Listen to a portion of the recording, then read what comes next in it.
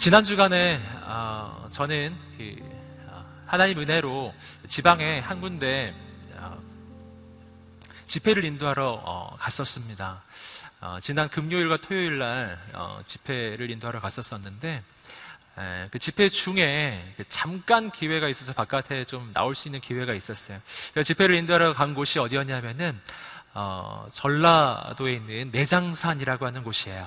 내장산 그 기독교 수양관이라고 하는 곳에서 청년 수련회가 있었거든요. 그래서 집회를 인도하다가 이제 잠깐 그 내장산에 또 그 계곡이 있지 않습니까? 아, 그래서 그 계곡에 한번 가보았습니다. 예, 제가 계속 논 건 아니고요.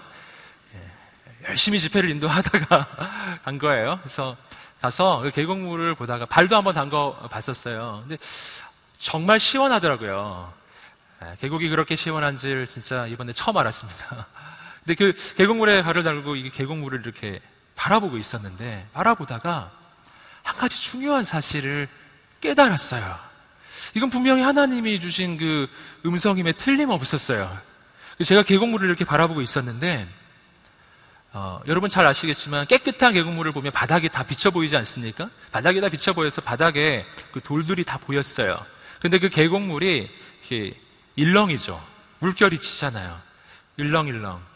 물이 올라가면서 잔물결이 일고 물결이 치면서 그 바닥에 있는 돌들이 어떻게 보일까요? 울렁울렁. 예, 일렁일렁. 이렇게 보이겠죠? 예, 돌들이 마치 움직이는 것처럼 보이는 거예요.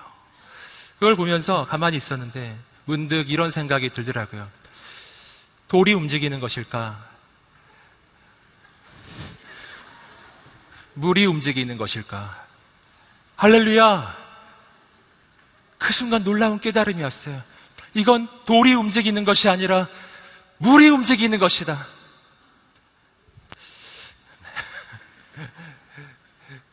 돌이 움직이는 것이 아니죠. 예. 만약 돌이 진짜로 그렇게 움직였으면 저는 빨리 도망가야 돼요. 지진이니까. 하지만 저는 계곡 바닥에 일렁이는 그 돌들을 바라보면서 두려워하지 않았어요. 왜냐하면 돌이 움직이는 것처럼 보일 뿐이지 실은 움직이는 것이 아니었기 때문이죠. 여러분, 눈에 보이는 것이 진실은 아닌 거예요. 제가 그 사실을 알려드리려고 핸드폰으로 찍었어요. 지금 찍은 영상을 잠깐 보여드리고 싶습니다.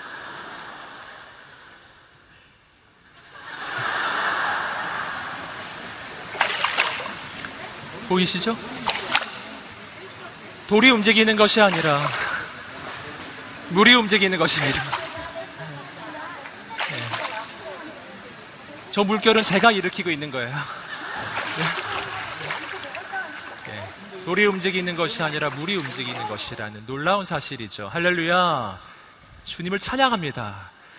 제가 막 뛰어가가지고 핸드폰을 들고 가서 막 촬영을 해가지고 아, 이걸 보여줘야 되는데 막 이런 생각을 하면서 여러분 오늘 우리의 인생을 살아가다 보면은 현실이 일렁이는 것처럼 보일 때가 있어요.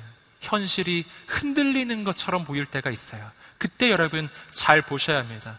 진짜 흔들리는 것이 무엇인지.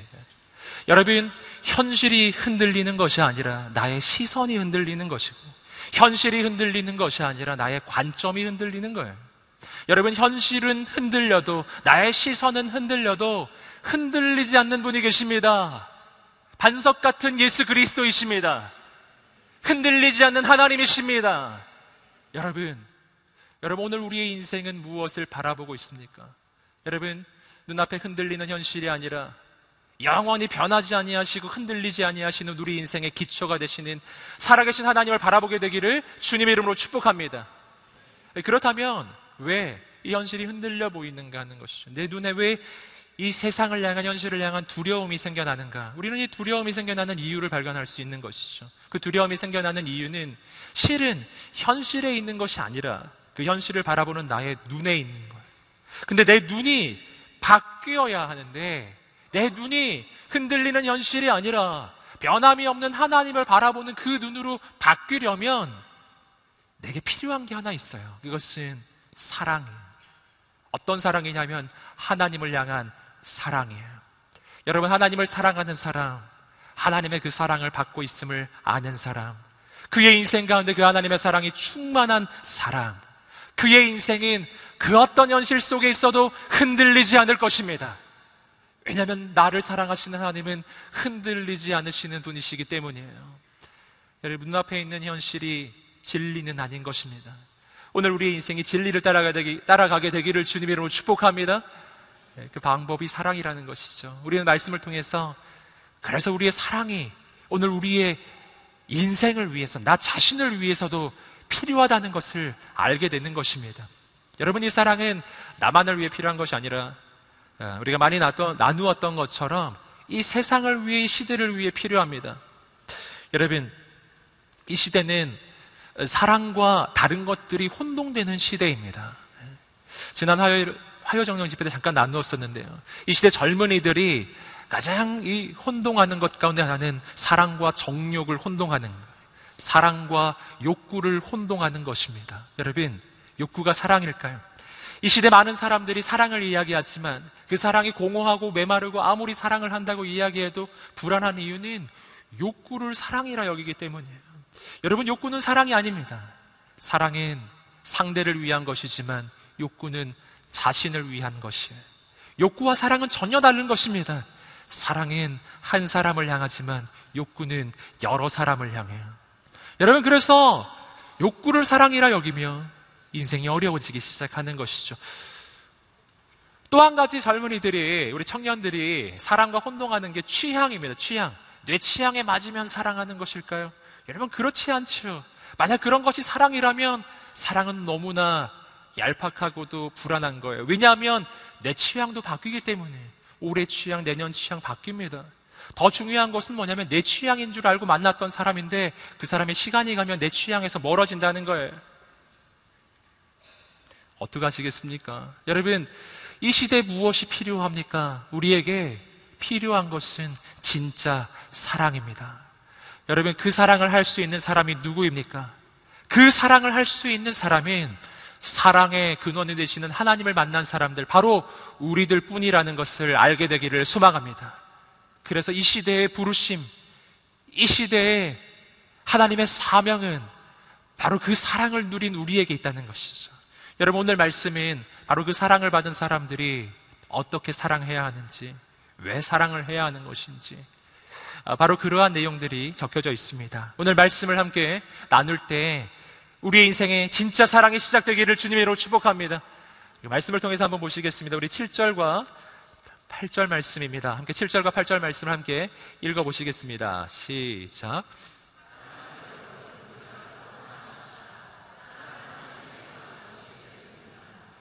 사랑하는 사람은 누구나 다 하나님께로부터 났고 하나님을 압니다.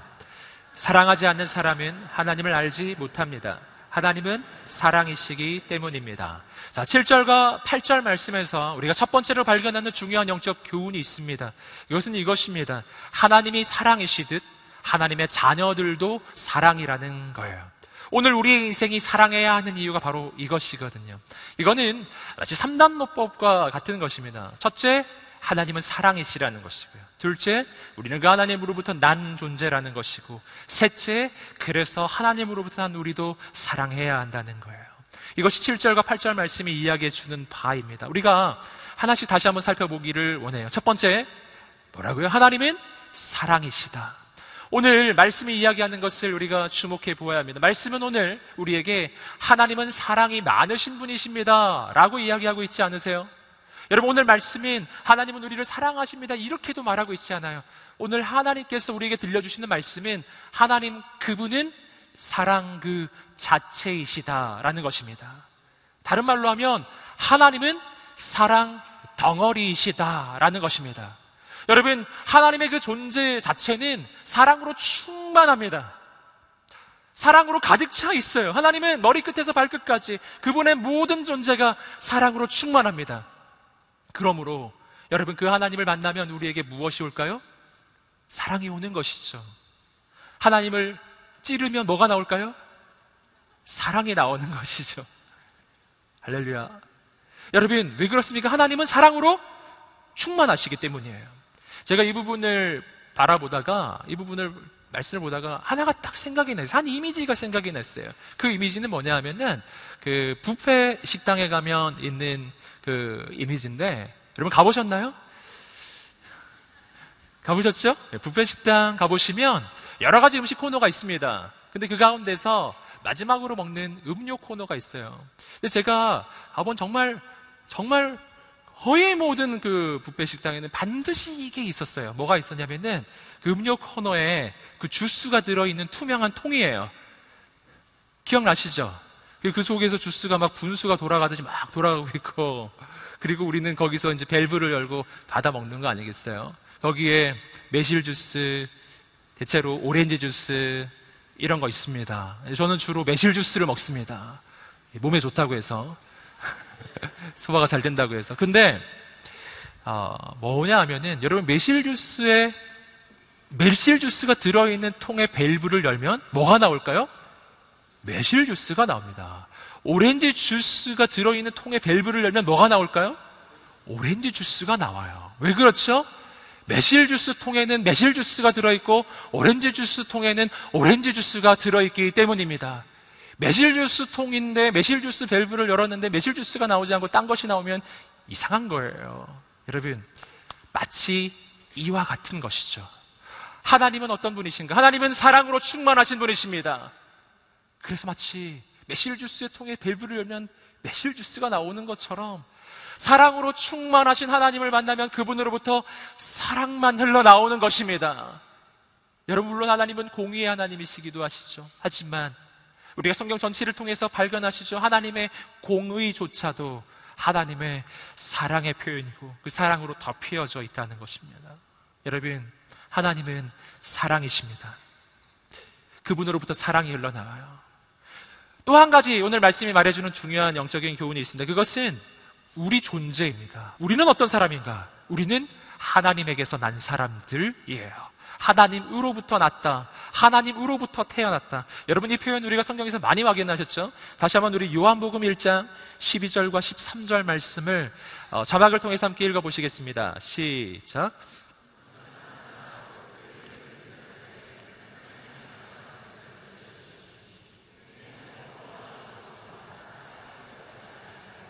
오직 하나님께로부터 난 자들이니라. 바로 하나님의 자녀가 됐다는 거예요. 여러분 예수 그리스도를 믿고 예수 그리스도를 영접하면 우리는 하나님 으로부터 다시 태어납니다. 그래서 우리는 하나님의 자녀가 되는 것이죠. 하나님의 하나님으로부터 태어났다 라고 하는 이 표현을 우리가 주목해 보아야 합니다. 하나님으로부터 났다. 네. 어, 전에도 우리가 함께 한번 생각해 본 적이 있어요. 한번 생각해 보십시오. 말로부터 나면 망아지가 되고 개로부터 나면 강아지가 되죠. 닭으로부터 나면 병아리가 되는 것이죠. 또 다른 예를 한번 들어보겠습니다. 여러분 커피콩으로부터 나오는 것은 커피입니다. 카카오로부터 나오는 것은 초콜릿입니다. 무엇이나 내가 어디로부터 나왔느냐가 바로 내 존재를 결정하는 거예요. 여러분, 근데 오늘 말씀이 뭐라고 이야기했죠? 우리의 인생은 어떤 인생이라고요? 우리는 하나님으로부터 난 사람들이에요. 여러분, 우리는 하나님으로부터 난 사람들이기에 우리는 하나님의 자녀인데, 근데 하나님은 어떤 분이시라고요? 사랑이세요. 자, 이제 3단 논법이 성립이 되는 거예요. 첫째, 하나님은 사랑이세요. 둘째, 우리는 하나님으로부터 난 사람들입니다. 셋째, 사랑이신 하나님으로부터 우리가 났으니, 우리도 사랑인 것입니다. 할렐루야. 여러분, 그러니까 오늘 성경에는 안 나오지만 이렇게 해서 유추해서 이야기하면 이렇게 말할 수 있는 거예요. 하나님은 사랑이시라. 우리도 마찬가지예요. 우리도 사랑이니라. 할렐루야.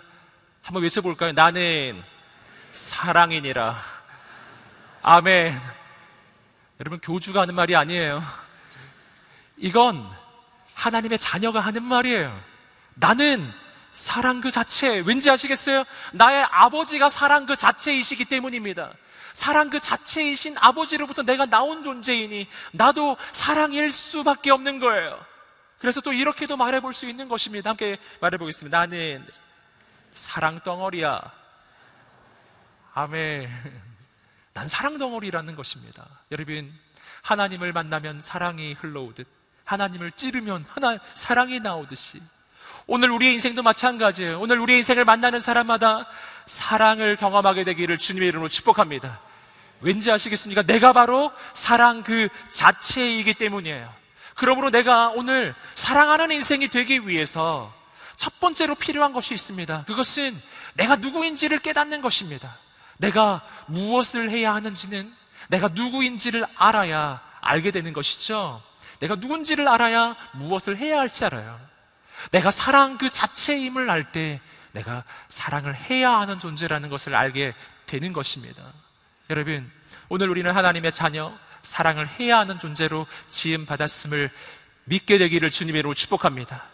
그래서 오늘 우리 마음 가운데 미움이 생겨날 때 누군가를 향해서 여러분 싫어하는 마음이 생겨나고 누군가를 피하는 마음이 생겨나기 시작할 때 그때 바로 그때 내가 무엇을 해야 하는가 하면은 그 사람을 묵상하는 게 아니라는 것이죠. 내가 왜 그를 미워하는지 그를 묵상하면 미워할 이유만 생각이 나요. 여러분, 내가 묵상해야 할 것은 나 자신을 보는 것입니다. 내가 누군지를 보는 거예요. 그때 이렇게 외치세요. 나는 사랑 그 자체이고, 나는 사랑이신 하나님으로부터 태어난 하나님의 자녀이다. 라는 것입니다. 아멘. 우리가 함께 한번 다시 한번 외쳐보겠습니다. 나는 사랑 덩어리야. 아멘. 나는 사랑 덩어리. 그 사랑을 전할 수밖에 없는 인생임을 오늘 내가 알기만 하는 것이 아니라 믿게 되기를 주님으로 축복합니다. 아멘. 내가 누군지를 알아야 한다는 것이죠. 여러분, 어, 이 부분에 대해서 작년에 한번 그 내가 누군지를 알아야 하는 것에 대해서 제가 비유를 들어서 한번 이야기해 드린 적이 있어요. 혹시 기억이 나시는지 모르겠어요. 넌 닭이 아니야. 넌 독수리야. 기억나십니까? 여러분, 닭장에 들어갔던 독수리 이야기잖아요. 기억이 나시죠? 닭장에 들어간 독수리. 자기가 닭인 줄만 알고 있었던 인생. 여러분, 독수리가 자신을 닭이라고 여기고 있으면요. 날개가 있어도 날 수가 없는 거예요. 날개가 있지만 난 날 수 있을 거라고 생각하지 않거든요. 여러분, 독수리가 날기 위해서 첫 번째로 필요한 것은 본인이 독수리라는 것을 아는 것입니다. 여러분, 내가 사랑하기 위해 첫 번째로 필요한 것은 나는 사랑이신 하나님의 자녀임을 깨닫는 것입니다. 난 하나님의 자녀이기 때문에 사랑을 할 수가 있는 것입니다. 여러분, 내가 사랑이신 하나님의 자녀임을 깨달았다면 또 한 가지 우리가 해야 할 일이 있어요. 그것은 뭐냐면 사랑을 시도하는 것입니다. 여러분, 어, 닭인 줄 알았던 독수리가 자신이 독수리라는 것을 알았어요. 그러면 이제 뭐를 해봐야 될까요? 날개짓을 해보아야 하는 것입니다. 여러분, 날개짓을 해보아야 내가 날 수 있다는 것을 알게 되는 것입니다. 독수리가 알기만 하고 날개짓을 하지 아니하면 그냥 그렇게 평생 사는 거예요. 그래서 오늘 우리 인생 가운데 사랑이 시작되기 위해서 또 한 가지 필요한 것이 있는데 사랑을 시도하는 거예요. 함께 한번 따라 보시겠습니다. 사랑을 시도하라. 아멘. 사람들 가운데는 진짜 그런 사람이 있어요. 나는 사랑할 수가 없는 사람이라고 스스로 여기는 사람이 있어요. 나는 사랑에 서툰 사람이라서 난 사랑을 표현할 수도 없다고 스스로 여기는 사람이 있어요. 그리고 절대 시도하지 않는 사람이 있어요. 여러분, 시도하지 않으면 사랑하는지를 모르는 것입니다. 사랑하고 사랑을 시도하게 되기를 소망합니다. 어, 제가 사랑을 시도했던 기억이 하나 나더라고요. 저는 그 사랑을 표현하는데 매우 서툰 사람입니다. 왜냐하면 저는 경상도 사나이거든요. 저는 대구 출신이에요. 대구 출신으로서 서울에 올라온 거는 제가 대학 오면서 피로서 서울로 올라온 거예요. 네. 할렐루야. 혹시 모르셨죠? 근데 여러분, 어, 그래서 저는 사랑한다라고 말하는 것도 정말 원래는 굉장히 쑥스러워하는 사람이고요. 또 한 가지는 사랑을 표현하는 거 진짜 어려워하는 사람이에요.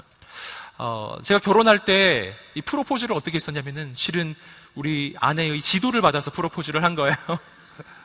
놀랍죠? 프로포즈를 어떻게 해야 될지를 모르겠는 거예요. 하려고 하니까 너무 쑥스러운 거예요. 그래서 우리 아내가 지도를 해 주었어요. 네. 장미꽃 백송이를 준비해야 한다. 자, 노래는 이런 노래를 불러야 한다. 제가 그 지도를 받아서 꽃도 준비하고 노래도 불렀어요. 예, 예, 형제는 자매하기 나름입니다. 아무튼 여러분 그런데 그, 그, 래서 저는 정말 서툴러요. 그런 거 하는 거 되게 어려워하거든요. 근데 제가 결혼 생활 10년을 하니까 좀 시도할 용기가 생기더라고요.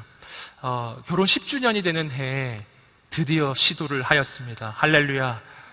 어떻게 시도를 했냐면은 이게 뭔가를 해야 되겠는 거예요. 이 결혼 10주년을 그냥 하시면 안 되겠네.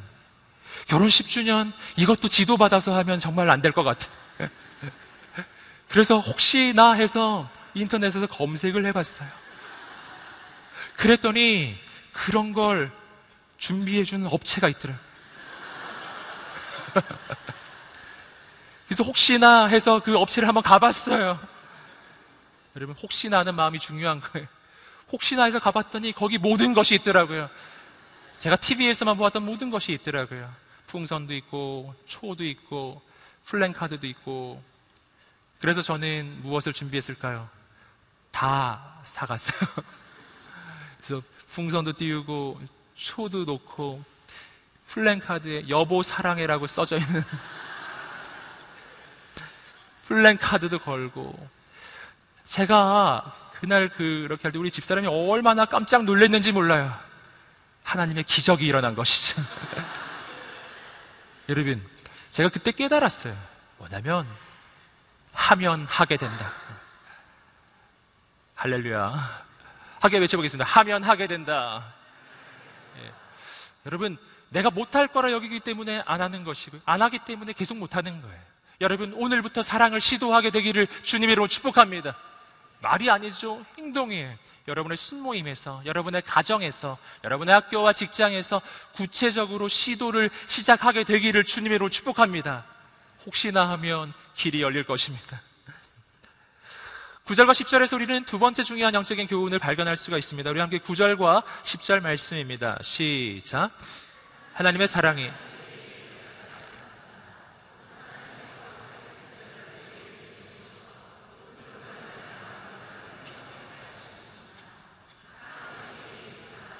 곧 우리가 하나님을 사랑한 것이 아니라 하나님께서 우리를 사랑하셔서 우리 죄를 위해 그분의 아들을 화목제물로 보내주셨습니다. 자, 9절과 10절 말씀에서는 하나님의 사랑에 대한 이야기를 해주고 있습니다. 7절과 8절 말씀에서는 하나님이 사랑이시고 그분으로부터 난 내가 바로 사랑 그 자체라는 나의 존재를 이야기해 주었다면 두 번째는 내가 사랑할 수 있는 이유로 내가 이미 하나님의 사랑을 받은 사람이라는 것을 알게 해 주는 거예요. 그래서 하나님의 교훈을 발견합니다. 나는 이미 하나님의 사랑을 받은 사람임을 깨달으라는 것입니다. 내가 사랑받았다는 것을 깨달아야 그 사랑을 줄 수가 있기 때문입니다. 여러분 오늘 말씀이 하나님의 사랑에 대해서 말해줍니다. 여러분 하나님의 사랑은 말로만 하는 사랑이 아니에요. 하나님의 사랑은 입으로만 하지 않았습니다. 하나님은 그의 아들 예수 그리스도를 이 땅에 보내주셨습니다. 나를 위해서 가장 소중한 독생자를 보내주시는 사랑, 그 아들을 죽기까지 내어주는 사랑이었어요.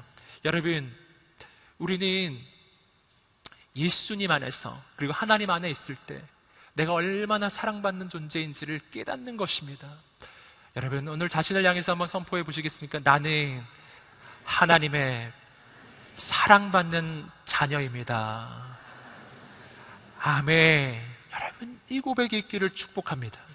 여러분, 특별히 인생을 살아가다 보면 내가 세상에서 버림받은 것 같은 그런 느낌이 들 때가 있어요. 사람들이 아무도 나를 알아주지 아니하고 인정해 주지도 아니하고 정말 내가 생각했던 반응이 전혀 나오지 않고 정말 나는 홀로 버려진 것 같은 느낌이 들 때가 있습니다. 여러분 그럴 때 무엇을 추구하고 무엇을 찾습니까? 그때 나를 사랑해 줄 사람을 찾아다니지 않게 되기를 축복해요. 여러분 그 갈급함과 그 메마름을 가지고 사람을 찾으면 정말 어려움을 겪게 됩니다. 여러분 그때 내가 찾을 분 누구십니까? 나를 사랑하셔서 그 아들을 보내주신 살아계신 하나님을 바라보시기를 주님의 이름으로 축복합니다. 온 세상이 다 나를 버려도 여러분, 하나님은 당신의 편이 되십니다. 온 세상이 다 나를 미워하여도 나를 사랑하시는 분이 계세요. 나를 위해 그 목숨을 내어주신 예수님이 당신을 사랑하십니다. 여러분, 이것을 언제나 기억하는 우리가 되시기를 주님의 이름으로 축복합니다. 그래서 사랑을 할 때 바라보아야 할 분 누구시죠? 나를 사랑하시는 하나님을 바라보게 되기를 주님의 이름으로 축복합니다. 11절과 12절 말씀에서 우리는 세 번째 중요한 영적인 교훈을 발견합니다. 함께 읽어보시겠습니다. 시작. 사랑하는 여러분.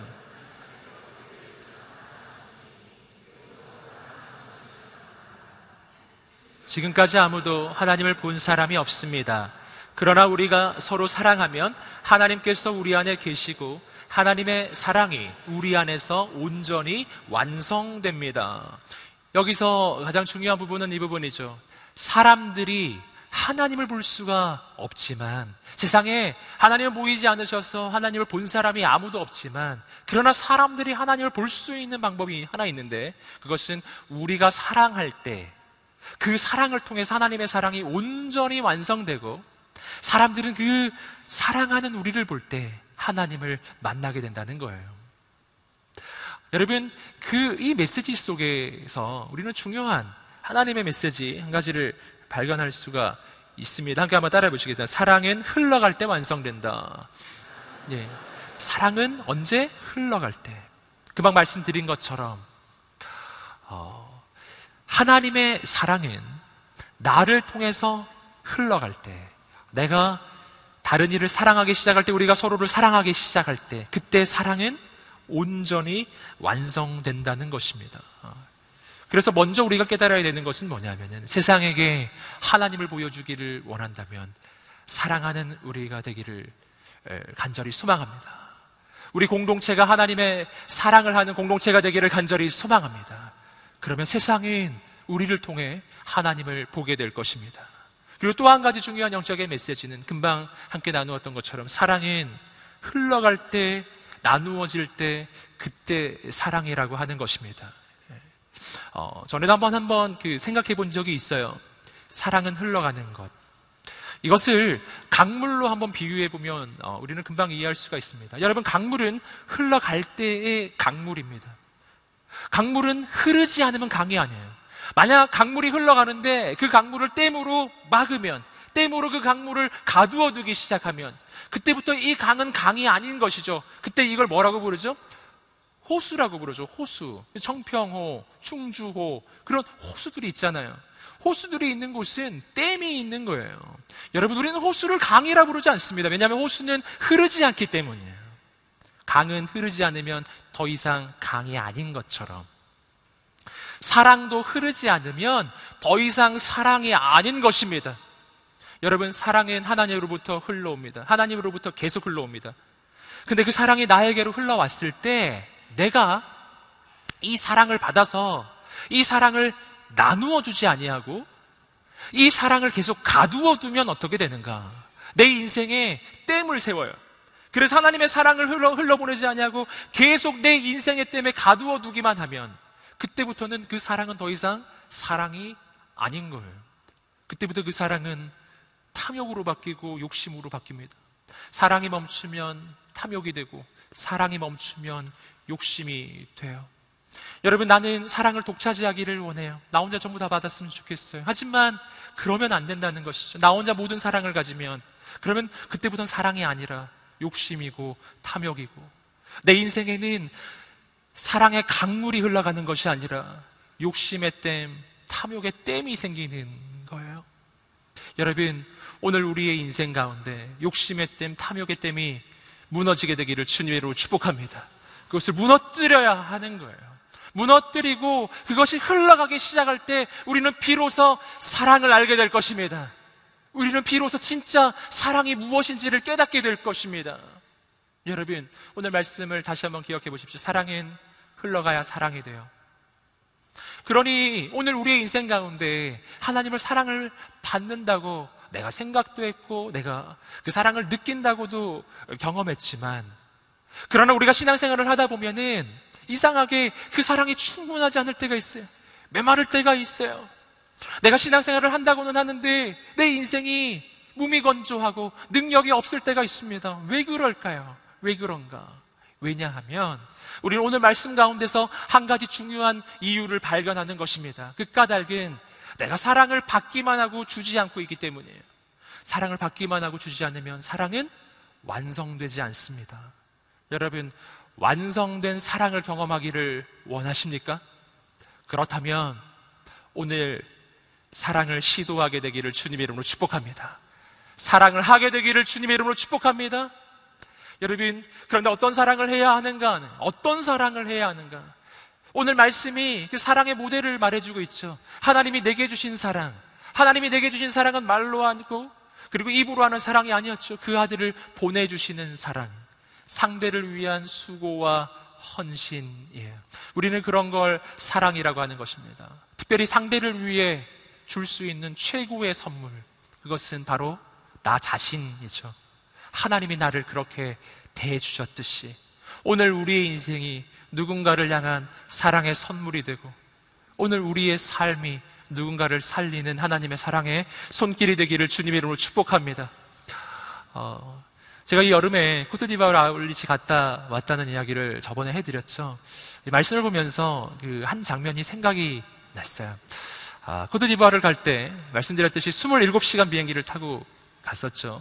가서 첫날에 있었던 일입니다. 가서 첫날 딱 도착을 했는데 그 선교사님들이 어, 저희를 위해서 음식을 준비해 주셨어요.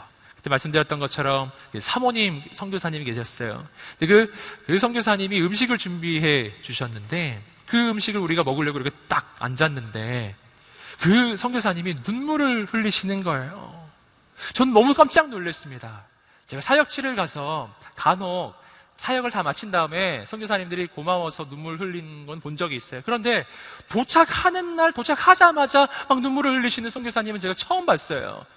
그래서 선교사님 아니 왜 눈물을 흘리시냐고 그랬더니 그 선교사님이 너무 감사해서 눈물을 흘린대요.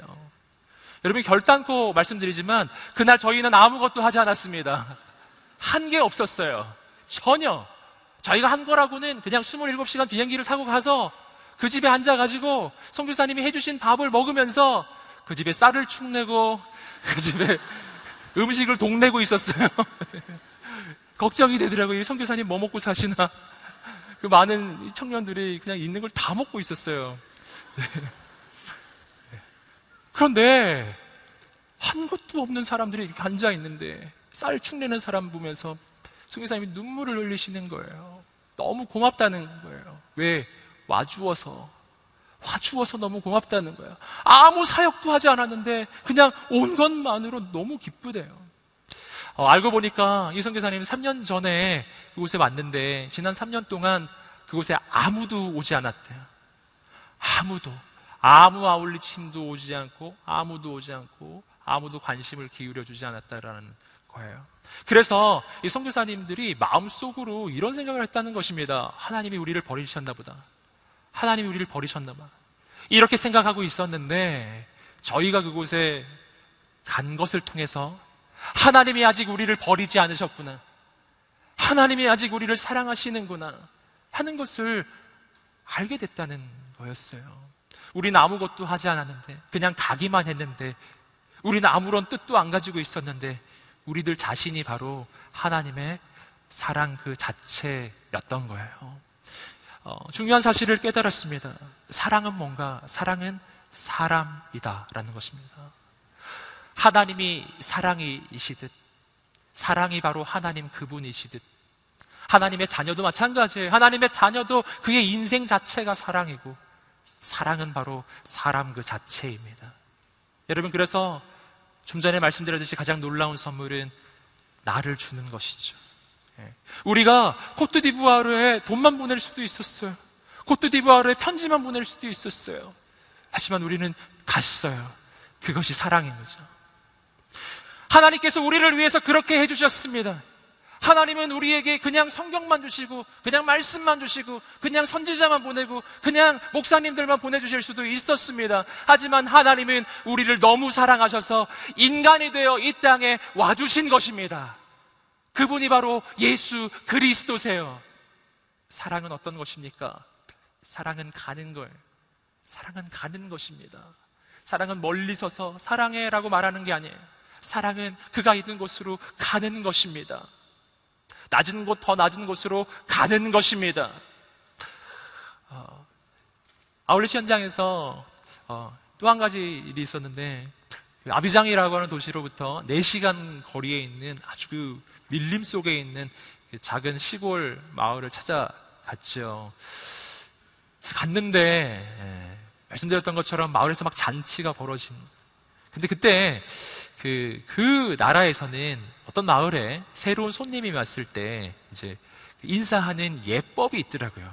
그 우리나라 전통 그 어, 예법이 있듯이 그곳에도 있어요. 인사하는 어떤 말하는 이 순서도 정해져 있고 내용도 정해져 있더라고요. 근데 그 중에 하나가 뭐, 뭐냐 하면은 이거였어요. 외부에서 들어온 손님에게 이 주인이 되는 사람이 물어보는 거예요. 뭘 물어보냐면 새로운 소식이 있습니까?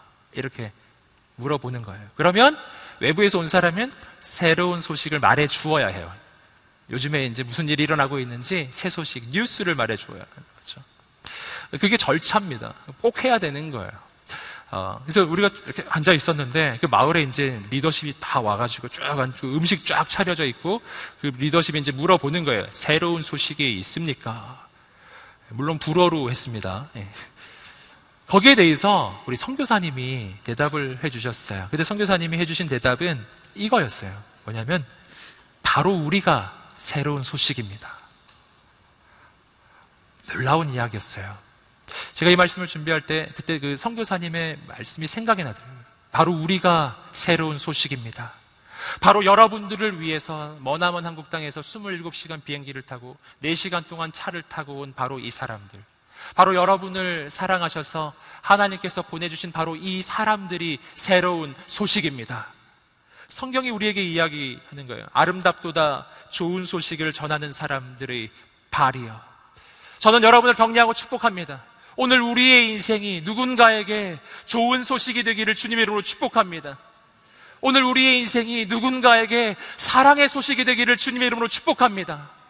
여러분, 사랑은 흘러갈 때 온전해지고 완성되는 것입니다. 진짜 사랑을 보게 될 것입니다.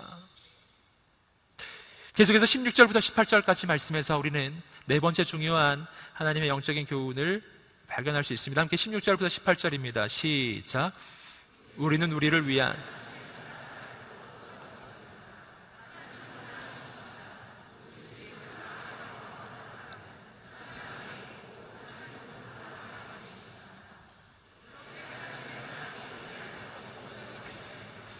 우리는 심판날에 담대함을 갖게 될 것입니다. 이는 그리스도께서 이 세상에서 사신 것처럼 우리도 이 세상에서 그렇게 행하기 때문입니다. 사랑에는 두려움이 없습니다. 온전한 사랑은 두려움을 내쫓습니다. 두려움은 징벌과 관련이 있기 때문입니다. 두려워하는 사람은 아직 사랑 안에서 온전케 되지 못한 사람입니다. 자, 16절부터 18절까지 말씀에서 중요한 사랑에 대한 영적인 교훈이 또 한 가지가 나오고 있습니다. 그것은 사랑하면 두려움이 떠나간다라는 것입니다. 여러분 오늘 말씀에 의하면 사랑과 두려움은 함께 공존하는 게 아니에요.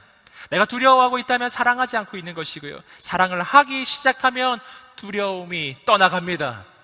그러니 오늘 우리의 인생 가운데 만나는 이 모든 두려움을 이기는 가장 중요한 비결은 사랑하는 것입니다. 여러분 그렇다면 이 두려움은 어떠한 두려움이 있습니까? 오늘 말씀을 통해서 세 가지 함께 한번 나누어 보고 있습니다. 첫 번째, 사랑하면 무엇을 이기는가? 사랑하면 함께 한번 따라해 보시겠습니다. 심판에 대한 두려움을 이긴다. 아멘. 사랑하면 심판에 대한 두려움을 이겨요. 이것이 말씀의 가르침입니다. 왜 그렇습니까? 왜냐하면 여러분 이 사랑은 그냥 사랑이 아니라 하나님의 사랑이기 때문이에요. 여러분 오늘 우리의 인생에 대해서 말씀이 뭐라고 이야기했습니까? 오늘 우리의 인생은 하나님의 사랑을 받는 자녀입니다.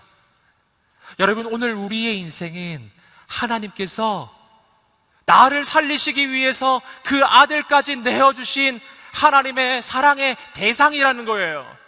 여러분, 여러분이 하나님의 사랑받는 인생이라는 것을 언제나 기억하시기를 주님으로 축복합니다. 내가 하나님의 사랑을 받고 내가 하나님을 사랑할 때 여러분, 그때 두려움이 떠나가기 시작해요. 첫 번째는 심판에 대한 두려움이에요. 왜냐하면 아버지는 자녀를 심판하지 않기 때문이에요. 여러분, 심판은 자녀에게 주는 것이 아니에요. 아, 물론 오늘 우리가 신앙생활을 하다 보면 인생의 어려움을 겪을 때가 있습니다. 하지만 그것은 심판이 아니에요.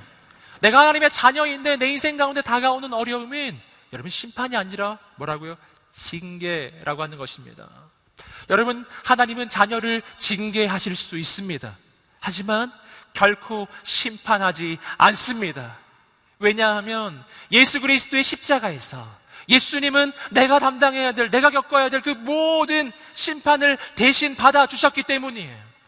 내가 예수 그리스도를 믿고 나의 구원자로 영접하면 그러면 나는 하나님의 자녀가 되고 모든 심판은 지나갑니다.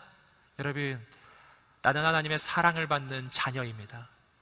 여러분, 나는 하나님으로부터 심판받지 않는 인생임을 기억하시기를 주님의 이름으로 축복합니다.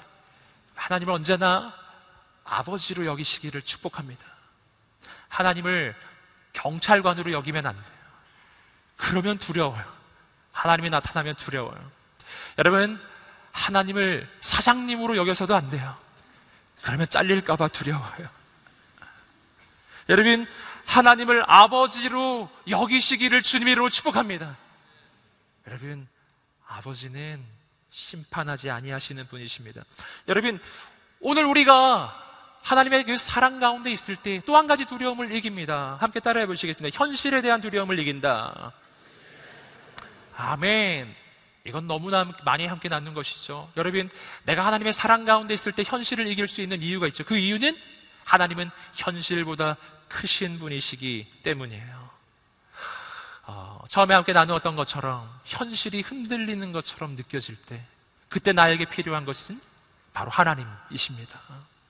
여러분, 풍랑치는 바다 한복판에 제자들이 그 배에서 출렁이는 배 가운데 있었을 때 배도 출렁이고 파도도 출렁이고 현실은 흔들리고 마치 죽을 것만 같았지만 어느 순간에 그 모든 것에도 불구하고 그들의 인생에는 두려움이 사라졌어요. 어느 순간이죠? 거기에 예수님이 오시는 바로 그 순간입니다. 여러분, 현실보다 크신 주님께서 우리 인생 가운데 임하실 때 여러분 오늘 우리의 인생은 더 이상 흔들리지 않게 될 것입니다.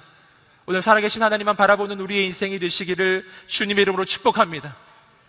세 번째, 여러분, 하나님의 그 사랑 가운데 있을 때 오늘 우리 인생은 또한 사람에 대한 두려움을 이기는 것입니다. 함께 따라해 보시겠어요? 사람에 대한 두려움을 이긴다. 아멘. 내가 두려워하는 것. 누구를 두려워하십니까? 누구를 무서워하십니까? 여러분, 그 모든 두려움을 이기는 방법이에요. 그 모든 두려움을 이기는 방법은 바로 나의 대적보다 나의 원수보다 크신 하나님을 만나는 것입니다. 그 하나님의 사랑 가운데 들어가기 시작하는 것입니다. 그때 나는 사람에 대한 두려움을 이기기 시작할 것입니다. 또 한 가지, 내가 하나님의 그 사랑 가운데 들어갈 뿐만 아니라 또 한 가지, 나를 두렵게 하는 그를 사랑하기 시작하기를 간절히 소망합니다. 이것은 성경이 이야기해주는 원수를 대하는, 나의 인생을 어렵게 만드는 나의 대적을 대하는 가장 중요한 방법이죠. 아, 로마서 12장 말씀에서 나오듯이 내 원수가 줄이면 먹이고 내 원수가 목마르면 마시게 하고 저주하지 말고 축복하라고 하는 하나님의 말씀. 여러분, 내 원수에게 줄 수 있는 최고의 이 복수라고 한다면 여러분 그를 위해 기도하고 그를 위해 축복하고 여러분 그의 인생을 살리는 오늘 우리의 인생이 되시기를 주님으로 축복합니다. 여러분 이것이 두려움을 이기는 거예요. 여러분 구체적으로 한번 실행해 보시기 바래요. 내 인생에 나를 두렵게 하는 자. 여러분 그 두려움을 이기기 위해 그를 위해 기도하기를 시작해야 되고 내 인생에 두렵게 하는 현실을 만날 때 이것을 이기기 위해 나를 사랑하시는 하나님을 바라보게 되기를 주님의 이름으로 축복합니다. 두려움은 사라지기 시작할 것입니다. 마지막으로 우리 19절부터 21절까지의 말씀을 함께 읽어보시겠습니다. 19절부터 21절입니다. 시작.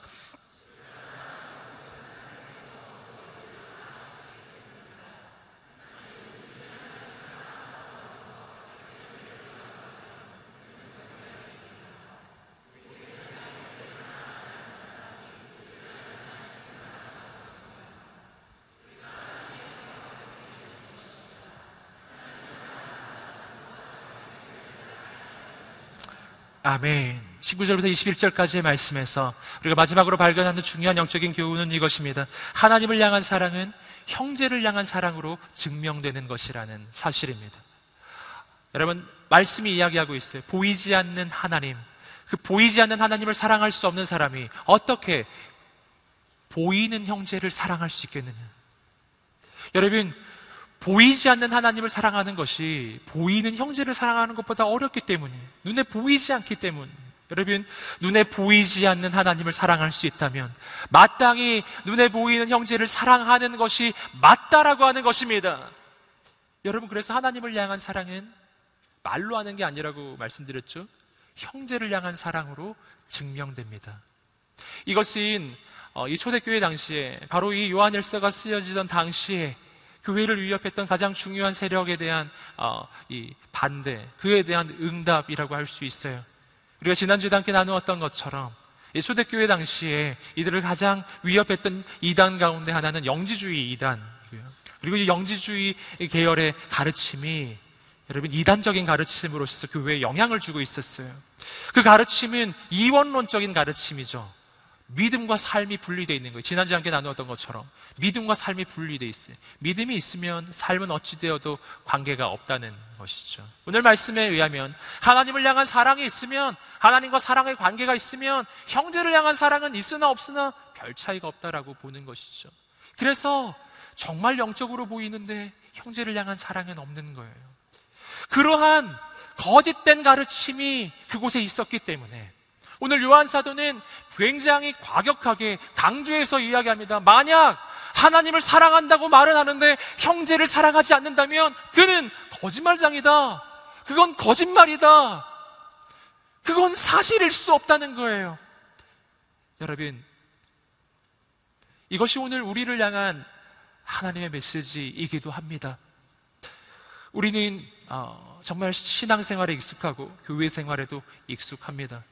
여러분 그런데 놀랍게도 오늘 말씀처럼 하나님을 향한 사랑에 대해서 많이 이야기하지만 형제를 위한 사랑은 내 삶 가운데 없을 때가 있다는 거예요. 여러분, 오늘 우리 마음 가운데 새로운 사랑이 시작되기를 주님의 이름으로 축복합니다. 하나님을 향한 사랑이 형제를 향한 사랑으로 증명되는 인생이죠. 이걸 조금 다른 말로 하면 믿음은 사랑으로 증명된다는 것입니다. 그래서 오늘 말씀을 읽어보시면 그 믿음이 들어가야 할 자리 같은데 사랑이란 말이 계속 들어가고 있어요. 사랑이 있는 사람은 하나님의 심판받지 않는 인생이 되는 것이다. 이렇게 말하는 이유가 있어요. 우리가 본래 아는 것은 믿음이 있어야 심판을 받지 않는다고 아는데 말씀은 사랑이 있어야 심판받지 않는다고 이야기하거든요. 그 까닭은 믿음이 필요 없다는 이야기가 아니에요. 진짜 믿음이 있으면 진짜 사랑이 시작되는 것입니다.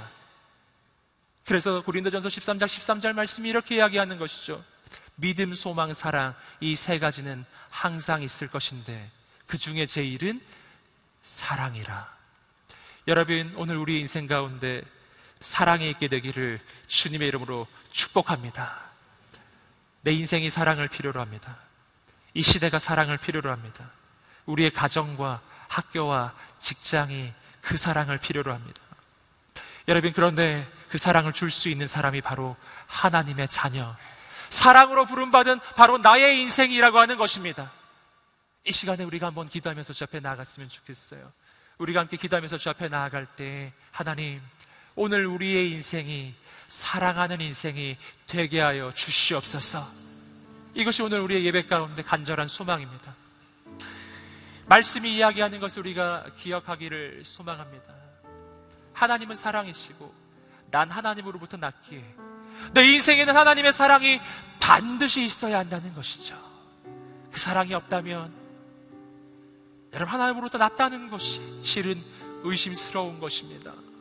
여러분 오늘 그래서 우리 인생의 사랑이 시작되기 위해서 무엇보다 필요한 것은 나의 인생 가운데 아버지의 사랑이 부어지고 채워지는 것입니다. 하나님, 내가 하나님의 사랑받는 하나님의 자녀임을 깨닫게 하여 주시옵소서. 이 시대를 향한 사랑의 통로로 부름받은 인생임을 깨닫게 하여 주시옵소서. 오늘 내가 그 사랑의 통로가 되게 하여 주시옵소서. 하지만 오늘 말씀을 통해 우리는 보았습니다. 그 사랑이 우리에게 받아지기만 한다면 아직도 진짜가 된 것은 아니라고요. 그 사랑이 내게 고여지고만 있다면 어쩌면 그것은 탐욕의 땜, 어쩌면 그것은 욕심의 땜일지도 몰라요. 하나님, 오늘 내 인생 가운데 욕심의 땜, 이 탐욕의 땜은 무너지게 하여 주시옵소서. 내 인생에 사랑의 강물이 흘러가게 하여 주시옵소서.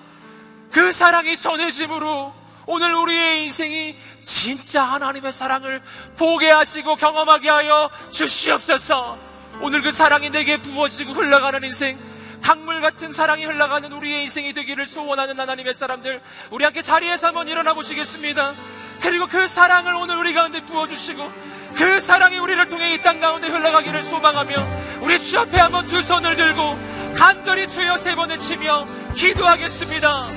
주여, 주여, 주여, 할렐루야 하나님.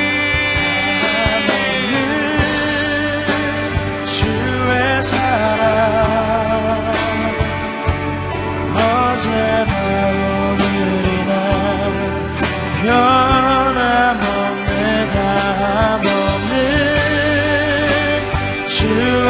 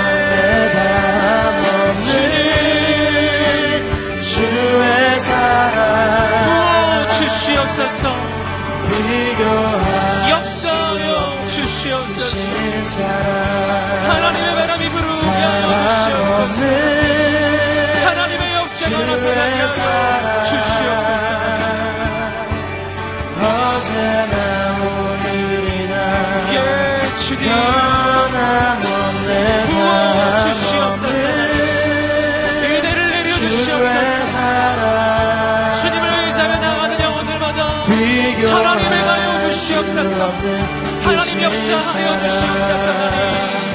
담없는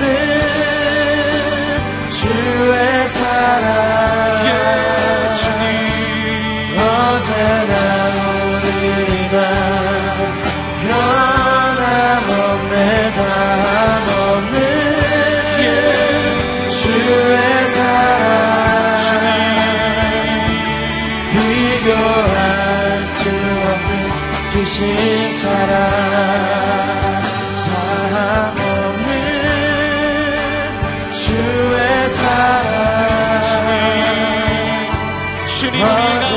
사랑을 부어주시옵소서?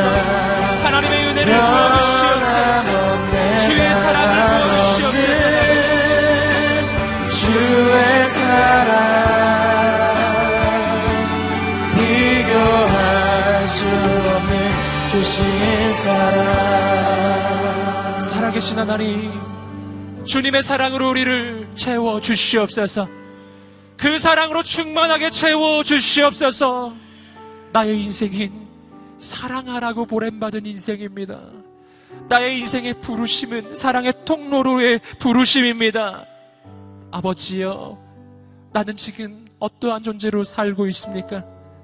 오늘 내가 있는 가정과 학교와 직장 가운데 하나님의 은혜와 축복과 생명과 사랑의 통로가 되게 하여 주시옵소서. 온 세상이 나를 바라보고 온 세상이 우리를 바라보고 있습니다. 온 세상은 사랑을 갈망하는데 그 사랑을 줄 사람은 하나님의 자녀밖에 없기 때문입니다. 아버지, 나의 부르심, 이 사랑을 향한 부르심, 이 부르심에 응답하는 인생이 되게 하여 주시옵소서. 우리가 이 시간에 한 번 더 기도하면서 주 앞에 나아갈 때 이번엔 조금 더 구체적으로 기도하기를 원합니다. 여러분 지금까지 하나님이 내게 사랑하라 하셨지만 내가 사랑하지 못했던 사람이 있지 않았습니까? 혹은 내가 사랑해야 한다고 생각도 하지 못했던 그러한 사람이 있을지도 모릅니다. 어쩌면 나의 부모가, 어쩌면 나의 형제가, 나의 자매가, 어쩌면 나의 친척이, 어쩌면 친구 가운데, 어쩌면 가장 가까운 사람 가운데, 내가 정말 사랑해야 하는데 사랑하지 못했던 사람들이 있을지 모릅니다. 아버지, 나에게 사랑을 주시옵소서. 직장 동료 가운데, 학교의 친구들 가운데, 어쩌면 내가 사랑해야 할 그 한 사람이 있는지도 모르겠습니다. 여러분 이 시간에 조금 구체적으로 말씀드리시지 않겠어요? 구체적으로 하나님 앞에 아뢰며 나아갈 때 하나님의 사랑이 흘러와 나를 통해 흘러가기 시작할 것입니다. 사랑의 근원은 내가 아닙니다. 하나님으로부터 흘러오는 것입니다. 그러니 내가 사랑이 부족하다고 낭망하지 마십시오. 절망하지 마십시오. 실망하지 마십시오. 내 안에 사랑이 없는 것은 하나님도 알고 나도 알고 있는 사실이에요. 나를 보며 절망하지 마시고 사랑의 근원이 되시고 사랑의 원천이 되시고 사랑 그 자체이신 하나님을 바라보시기를 간절히 소망합니다. 하나님을 바라보십시오. 아버지의 사랑을 내게 부어주시옵소서.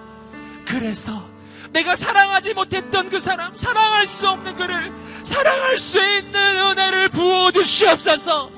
여러분 이 부분은 너무나 중요해요. 여러분 사랑은 두려움을 내어쫓습니다. 사랑 안에서만 우리의 인생이 온전해지는 것입니다. 왜 이렇게 오래 신앙생활을 했는데도 내 신앙은 온전하지가 않고 왜 이렇게 오랫동안 신앙생활을 했는데도 내 심령은 여전히 답답합니까? 네, 왜, 왜 내 인생은 한계를 넘어서지 못할까요? 여러분, 그것은 한 영역이 막혀 있기 때문이라는 것이죠. 사랑해야 온전해집니다. 사랑을 해야 인생의 물꼬가 열릴 것입니다. 사랑을 해야 하늘로부터 축복의 통로가 열려질 것입니다. 사랑은 인생의 문을 여는 통로입니다. 사랑은 하늘의 문을 여는 통로입니다. 그 문을 닫고서 아무리 애를 써도 되지가 않는 것이죠. 한계를 못 넘어서는 거예요. 여러분, 그러니 사랑으로의 부르심은 바로 나를 향한 부르심이기도 한 것입니다. 아버지, 내 인생에 새로운 시작을 주시옵소서. 나를 사랑하신 예수님을 바라보게 하여 주시옵소서. 아버지 그 사랑으로 하나님 주신 한 영혼을 사랑할 수 있도록 인도하여 주시옵소서. 내가 사랑해야 될 한 사람, 내가 사랑해야 될 한 영혼을 주 앞에 올려드리며 주 앞에 두 손 들고 간절히 주여 세 번에 치고 기도하겠습니다. 주여, 주여, 주여, 열어주시옵소서. 열어주시옵소서. 사랑의 문을 열어주시옵소서, 하나님. 너를 어느 때나 바라보시고 사랑의 문을 열어주시옵소서, 하나님. 인자한 비로소 언제나 주의 은혜를 부어주시옵소서. 주의 사랑을 부어주시옵소서.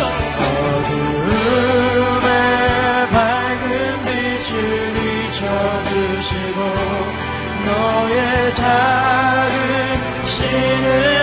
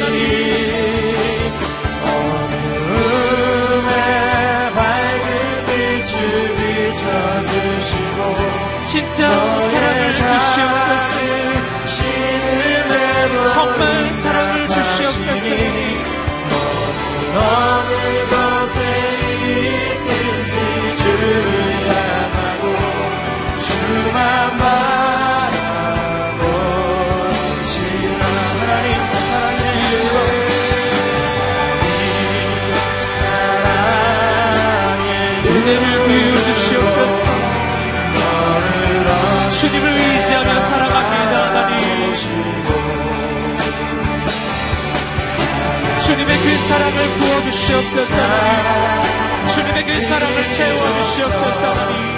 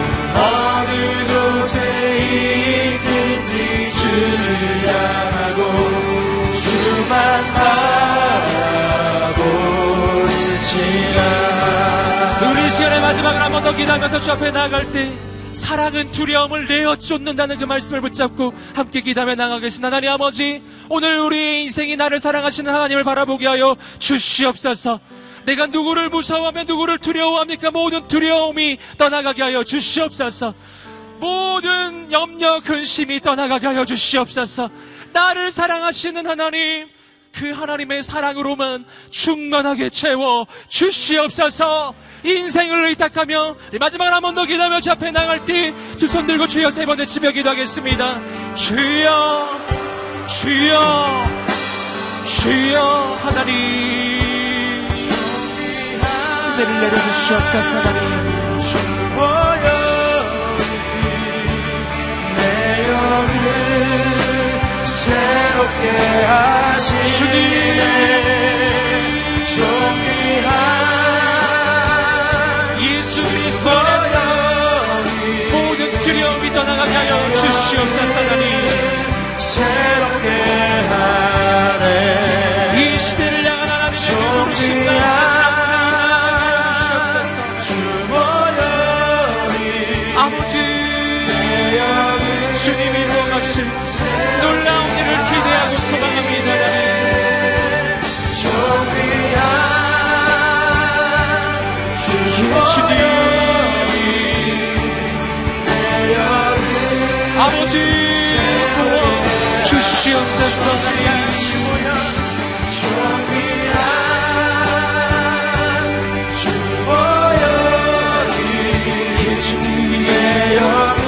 주님의 은혜로 채워 주시옵소서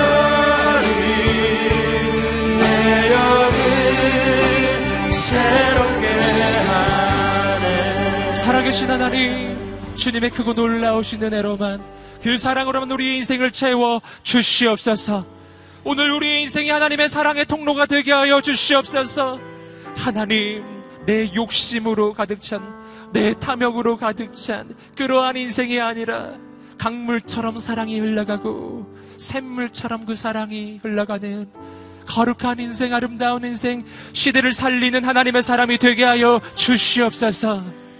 아버지, 그 사랑 가운데 있을 때 세상이 흔들리고 현실이 흔들린다 할지라도 나의 인생은 두려워하지 않을 것입니다. 나를 사랑하시는 그 하나님이 나와 함께 계시기 때문입니다. 나를 사랑하시는 그 하나님이 나를 붙잡고 계시기 때문입니다. 그 사랑 안에 늘 거하게 하시며 언제나 그 사랑으로 바라보게 하시며 언제나 그 사랑을 전하는 인생이 되게 하여 주시옵소서. 주님께서 베풀어 준그 은혜와 사랑, 그 사랑에 감사하여 작은 물질을 구별하여 드렸습니다. 우리의 인생도 미래도 우리의 모든 것이 다 주의 것이오니 모든 것이 하나님께 드려지기를 소원합니다. 하나님의 손으로 우리 인생을 붙잡아 주시옵시고 가장 놀라운 하나님의 꿈과 비전을 위해 이 시대를 살리는 하나님의 역사를 위해 쓰임받게 하여 주시옵소서. 바로 오늘부터 사랑이 시작되게 하여 주시옵소서. 지금은 우리 주 예수 그리스도의 은혜와 하나님의 사랑과 성령의 교통하심이 오늘 주 예수 그리스도의 그 사랑을 깨달아 알아서 사랑이 필요한 이 시대 가운데 그 사랑을 전하기로 결단하는 모든 하나님의 사람들 머리 위에 그리고 이 민족과 열방과 모든 성교사님들 머리 위에 지금부터 영원까지 함께 하시기를 간절히 축원하옵나이다. 아멘.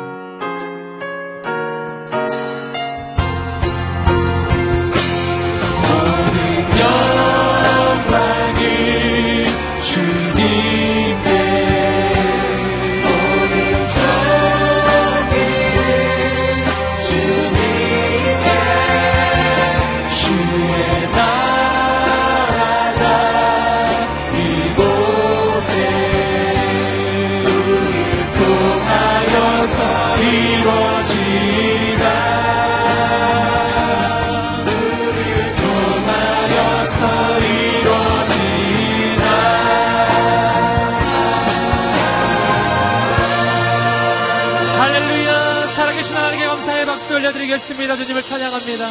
아멘. 예배를 마쳤습니다. 처음 오신 모든 분들은 이 앞쪽으로 모여주시고요. 우리가 마지막으로 다 함께 자리에서 일어나서 하나님 앞에 찬양을 올려드리며 나아가겠습니다.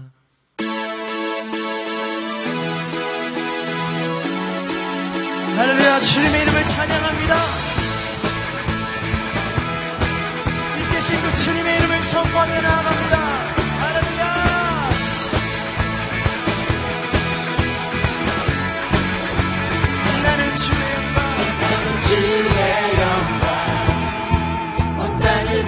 비추시네. 주님의 위대하심 온 땅이 찬양하네. 영원한 주의 나라. 이곳에